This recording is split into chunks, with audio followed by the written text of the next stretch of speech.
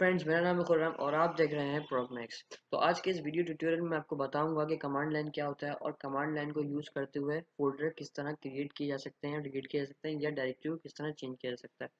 तो first of all मैं आपको बता दूँ कमांड लाइन एक ऐसा प्रोग्राम होता है जो कि कीबोर्ड से कुछ शेल कमांड लेता है और कुछ वर्क परफॉर्म करता है। ठीक है? अब सेकेंड बात ये कि लिनक्स की टर्म में हम फोल्डर को डायरेक्टरी कहते हैं। तो चलिए हम अपना प्रैक्टिकल वीडियो स्टार्ट करते हैं।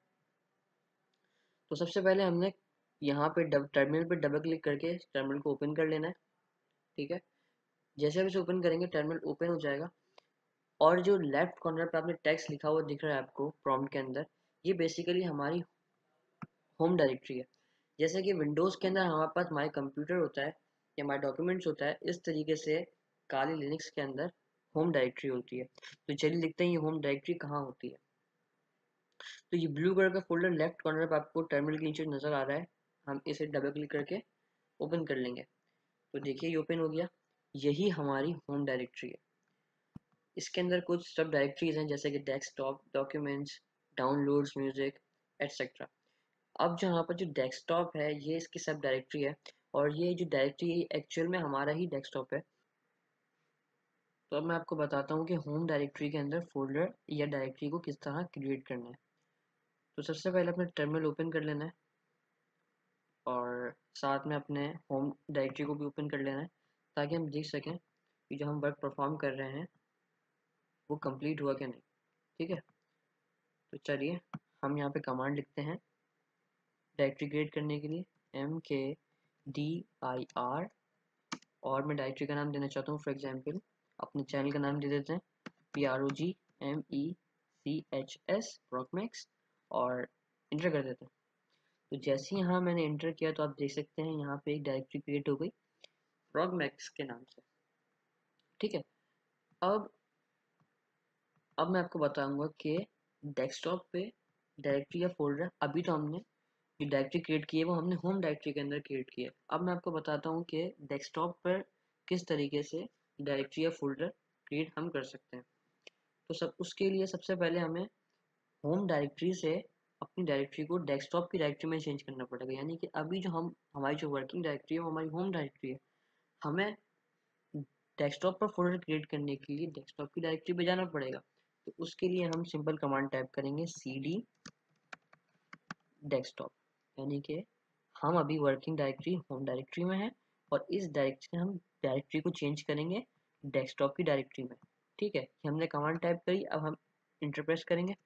जैसे हमने इंटरप्रेस किया अभी देख सकते हैं, हमारा प्रॉम्प्ट चेंज होकर स्लैश डेस्कटॉप पर आ गया, यानी हमारी डायरेक्टरी सक्सेसफुली चेंज हो गई है डेस्कटॉप में। यानी कि अब हम जो भी कमांड्स में एंटर करेंगे, जो भी वर्क करेंगे, वो हमारे डेस्कटॉप पर परफॉर्म होगा। तो चलिए देखते हैं। हम अपने, हमने अपनी डायरेक्टरी चेंज कर ली, अब हमें डायरेक्टरी क्रिएट करनी है। उसके लिए बिल्कुल सेम कमांड होगी M K D I R और अपने फोल्डर का नाम प्रॉग मैक्स हमने टाइप किया और हमने इंटर कर दिया। तो आप देख सकते हैं, पहले हमने डायरेक्टरी को चेंज किया डेस्कटॉप में और उसके बाद हमने फोल्डर क्रिएट किया। जब हमने फोल्डर क्रिएट किया तो वो फोल्डर यहाँ पर डेस्कटॉप पे सक्सेसफुली क्रिएट हो गया। तो चलिए अब हम देखते हैं कि किसी डायरेक्टरी को किस तरह डिलीट किया जाता है। अब जैसे कि मैंने जो फोल्डर बनाया है या डायरेक्टरी बनाई है प्रोगमैक्स के नाम से, अब मान के चलिए मैं इसे रिमूव या डिलीट करना चाहता हूँ तो वो किस तरह करते हैं? उसके लिए हमने कमांड टाइप करनी है। R M D I R और अपने फोल्डर डायरेक्टरी का नाम। यहाँ पे फॉर एग्जांपल हमारे जो नाम है progmax P R O G M E C H S हम नाम लिखा और इंटर कर देंगे। जैसे ही मैंने इंटर किया, आप देख सकते हैं, ये फोल्डर हमारे पास से डिलीट हो गया। अब मान के चलिए, मैं एक साथ तीन से चार फोल्डर बनाना चाहता हूँ तो हम किस तरह करेंगे? तो उसके लिए सिंपल आपने कमांड लिखनी है M K D I R अपने फ़र्स्ट फोल्डर का नाम, जो भी हो, मैं यहाँ पे वन टाइप कर रहा हूँ, अपने सेकंड फोल्डर का नाम, यहाँ मैं टू टाइप कर रहा हूँ, अपने थर्ड फोल्डर का नाम फिर फोर्थ फोल्डर का नाम, इस तरह सो ऑन आप जितने फोल्डर चाहे बना सकते हैं। मैं यहाँ पे फोर फोल्डर बना रहा हूँ, मैंने यहाँ पर कमांड टाइप किया M K D I R मेरे फ़र्स्ट फोल्डर का नाम, मेरे सेकेंड फोल्डर का नाम, मेरे थर्ड फोल्डर का नाम और मेरे फोर्थ फोल्डर का नाम और इंटर जैसे ही देखिए मैंने इंटर प्रेस किया, यहाँ पे चार फोल्डर हमारे पास क्रिएट हो गए एक साथ। अब मैं इन चार के चार फोल्डर को एक साथ रिमूव भी करना चाहता हूँ तो उसके लिए क्या कमांड होगी? सेम कमांड यूज़ होगी।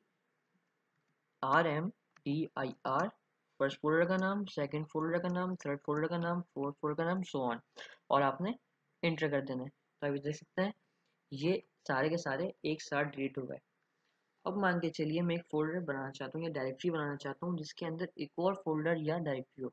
फॉर एग्ज़ाम्पल मैं एक फोल्डर बनाना चाहता हूँ प्रोकमैक्स के नाम का और उसके अंदर एक और फोल्डर हो मेरे खुद के नाम का, ठीक है?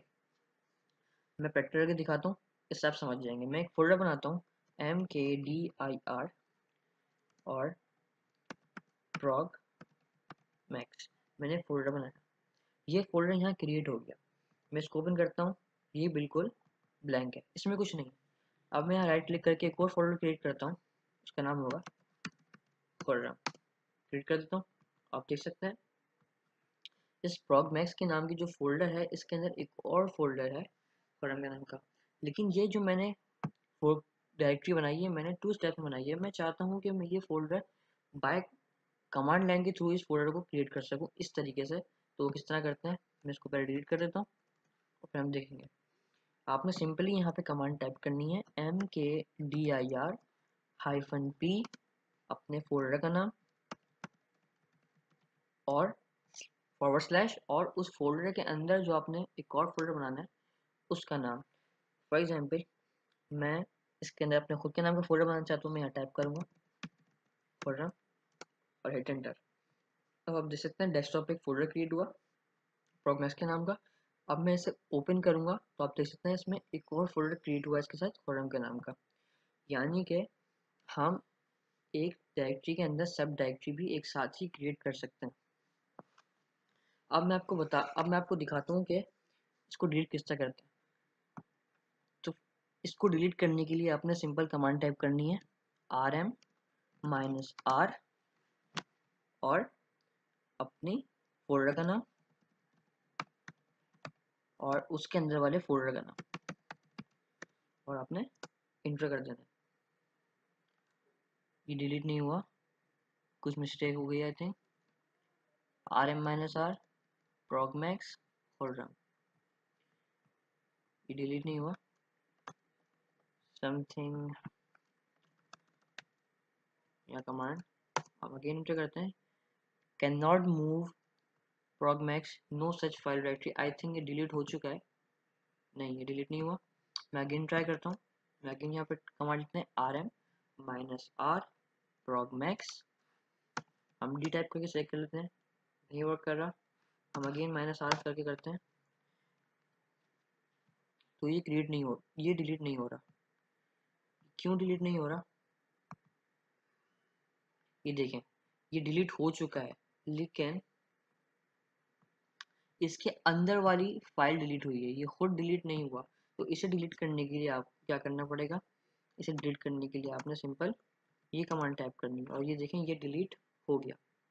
यानी कि जब आप इस तरह की किसी भी डायरेक्टरी को डिलीट करते हैं तो वो सबसे पहले आपकी चाइल्ड डायरेक्टरी को डिलीट करता है। यानी कि जैसे कि हमारे केस के अंदर जो हमारे पास चाइल्ड डायरेक्टरी थी, वो हमारे पास खुर्रम के नेम की थी, ठीक है? तो सबसे पहले उस कमांड ने उसे डिलीट किया एंड देन ये वाली फ़ाइल को डिलीट किया।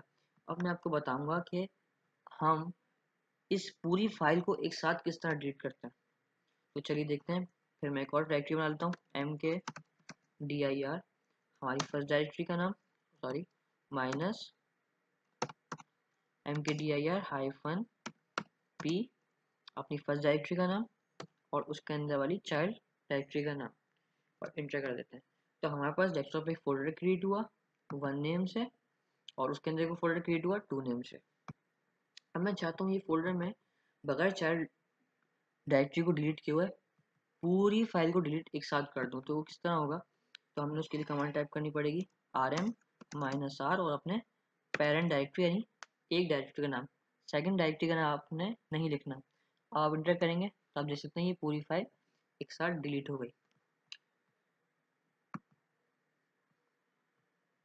अब मैं आपको दिखाऊँगा कि हम अपनी डेस्कटॉप की डायरेक्टरी से वापस होम डायरेक्टरी में किस तरह मूव कर सकते हैं।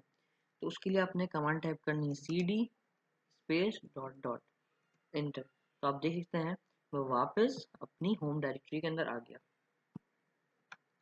अब इस पूरी स्क्रीन को मैं क्लियर करना चाहता हूँ। तो वो किस तरह होगा? हमें कमांड टाइप करेंगे C L E A R clear और देख सकते हैं आप, ये सब बिल्कुल क्लियर हो गया। अब मैं वापस से डेस्कटॉप की डायरेक्टरी में जाना चाहता हूँ तो उसके लिए हमें क्या करना पड़ेगा? मैं टाइप करूँगा सी डी डेस्कटॉप मैं डेस्कटॉप की डायरेक्टरी में नहीं है क्योंकि ये केस सेंसिटिव है। ये काली लिनक्स सही है आपकी केस सेंसिटिव है। इसके अंदर डेस्कटॉप और डेस्कटॉप दोनों चेंज है, यानी कि डेस्कटॉप और डेस्कटॉप ये दो अलग चीज़ें हैं। तो मैंने जो टाइप किया, वो डेस्कटॉप टाइप किया, इसलिए इसने हमारी डायरेक्टरी चेंज नहीं की। अब देखते हैं मैं, ये वाला डेस्कटॉप इस पर टाइप करके देखता हूँ, ये डायरेक्टरी चेंज करता है कि नहीं करता।